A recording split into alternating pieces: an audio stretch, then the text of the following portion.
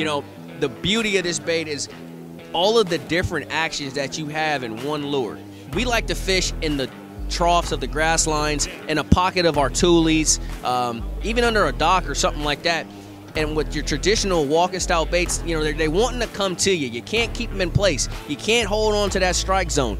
You know, that bedding bass, she's in a, in, in, a, in a hole of the grass. It's hard to keep a bait there. But with this Stutterstep, man, it really allows you to irritate that fish and draw them out of that cover. Step, step.